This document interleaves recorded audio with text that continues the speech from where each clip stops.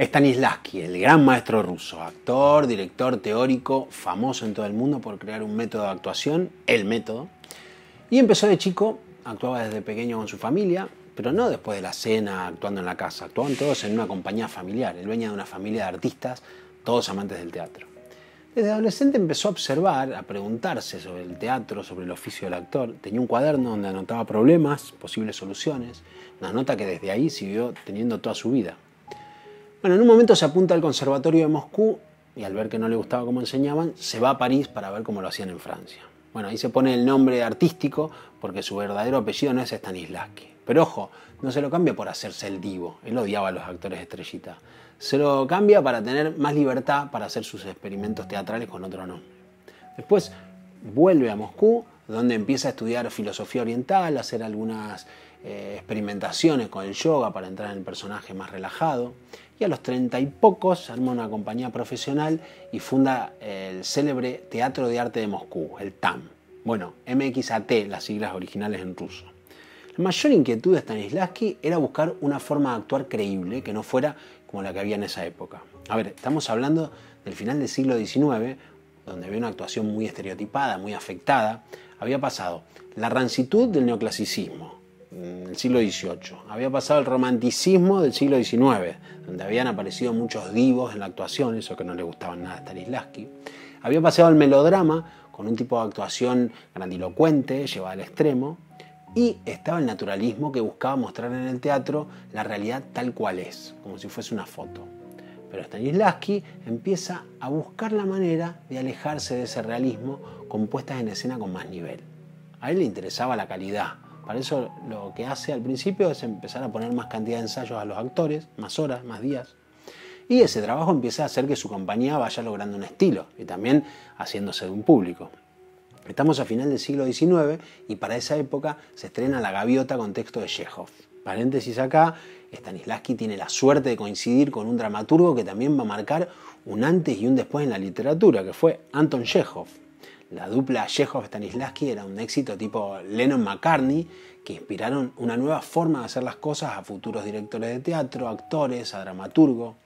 Bueno, atención, estábamos con el estreno de La Gaviota, que fue exactamente en 1898, y entre la dirección de Stanislavski y el texto de Chekhov se convierte en todo un éxito que va a terminar siendo un símbolo del teatro ruso moderno. Este triunfo los motiva para seguir produciendo, a estrenar Tío Baña, Las Tres Hermanas, El Jardín de los Cerezos, las que hoy son las obras principales de Chekhov y en ese momento fueron todas éxitos, pero a reventar. Y Stanislavski, que ya venía desde adolescente haciendo anotaciones en su cuaderno a través de experiencias, sigue apuntando cosas, investigando, sacando conclusiones con mucha prueba, ensayo y error y armando el famoso método. Un método que va a terminar siendo muy importante porque lo que va a hacer es sistematizar la actuación. Stanislavski fue el primero en hacer eso. La mayoría de los maestros que vinieron después o siguieron su modelo o estaban en desacuerdo, pero lo tuvieron en cuenta. Vamos a ver un poco su método, aunque sea los conceptos más importantes, porque es bastante complejo y bastante largo, y de hecho inconcluso. Al final, eh, cuando terminaba su vida, dijo que todo lo que había escrito no servía. Empezó a ir hacia otro lado. Por eso también, digamos, su carrera pedagógica tiene dos partes. La primera, que es la conocida, donde empieza a poner en práctica sus, su sistema basado en la memoria emotiva y en la sensorialidad. Y la segunda, que es la parte de las acciones físicas, que es donde empieza a cuestionarse lo que había dicho antes, lo, del trabajo sobre la emoción, que hasta ahí había sido central.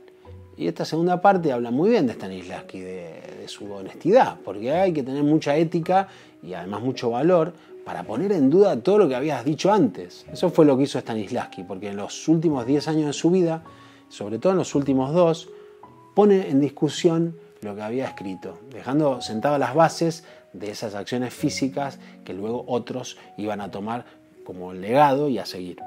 Pero vamos a analizar un poco algunos conceptos. Primero la memoria emotiva. Buscando la verdad, la verosimilitud, Stanislavski creía que los actores no tenían que interpretar un personaje, sino que debían meterse de lleno. Entonces, si un actor tiene que hacer una escena en la que su personaje está pasando por una situación de, por ejemplo, mucho dolor, el artista tiene que recordar un momento de su vida real en la que haya experimentado una sensación parecida. Y si el actor no había vivido ninguna situación parecida a la del personaje, la opción es el sí mágico, otro concepto que sería usar un supuesto para entrar en la ficción.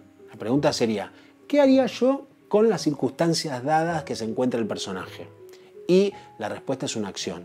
Una acción que va a tener una justificación y un sentido. ¿Y qué es eso de las circunstancias dadas que decíamos antes? A ver, hay que tener en cuenta que en el teatro de Stanislavski el trabajo del actor está ligado al del autor. Por eso también funcionó su dúo con Chekhov. Entonces, para que las acciones sean creíbles con el texto, hay que conocer las circunstancias dadas. Así las define Stanislavski. Dice, la fábula de la obra, sus hechos, la época, el tiempo y el lugar de la acción, las condiciones de vida, nuestra idea de la obra como actores y directores, lo que agregamos de nosotros mismos, la puesta en escena, los decorados y trajes, la utilería, la iluminación, los ruidos y sonidos y todo lo demás que los actores deben tener en cuenta durante su creación. Otro concepto es el subtexto, que Stanislavski lo usó como herramienta para construir el mundo interior del personaje. El subtexto no está en el texto, pero es lo que nos hace decir las palabras que están en el libreto.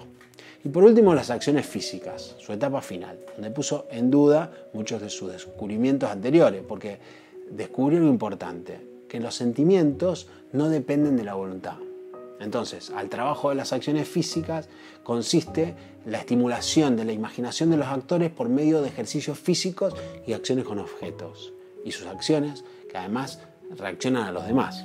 Y bueno, entre que las obras de, Stanislavski funcionaban muy bien con los textos de Chekhov y su método funcionaba con la compañía, otros actores empiezan también a utilizarlos y a, hacer famoso el método. Pero ojo, la fama del método fue por otra cosa, fue por Hollywood.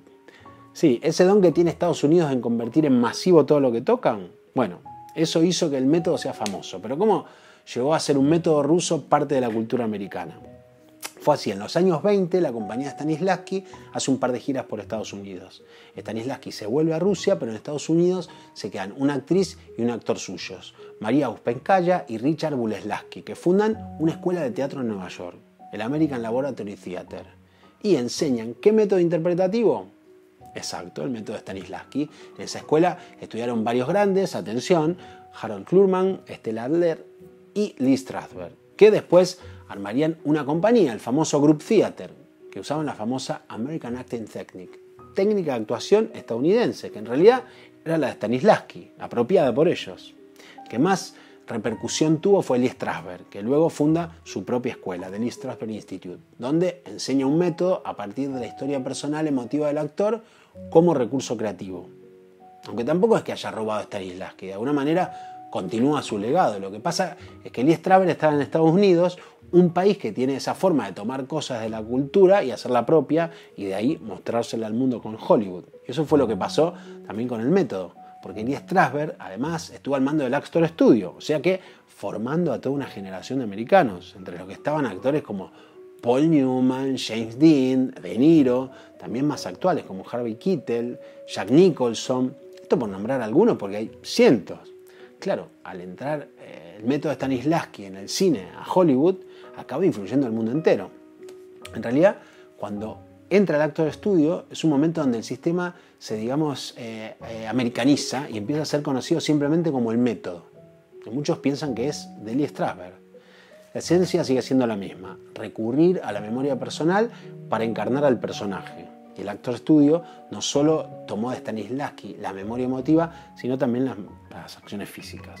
Hay muchas anécdotas de estrellas de Hollywood con el método. Una es de Marilyn Monroe, que parece que después de una clase entró en depresión y tuvo una crisis nerviosa. Otro del que se habla siempre es Marlon Brando, eh, que además de ser famoso por ser un sex symbol de los años 50, empezó a usar otra forma de interpretación que no era ni más ni menos que la del método, que había estudiado en el Actor Studio. Si ven sus pelis, van a ver movimientos, acciones en las que se apoyaba para meterse en el personaje, en su papel. Algo que llamaba mucho la atención del momento, les, parecía creíble, les parecía que tenía naturalidad, le creían. O Al Pacino, que también estudió en el Actor Studio con Marlon Brando, de hecho eran eh, íntimos amigos los dos. Pero bueno, dejemos la revista del corazón, el caso es que el método acabó teniendo influencia en Hollywood y entonces en todo el mundo entero. Porque se rompían las normas establecidas llenas de cliché y eso gracias a quién? A alguien que logró demostrar que los actores no necesitan tener talento innato, sino trabajo, dedicación, disciplina e inspiración. Y ese fue Konstantin Stanislavski.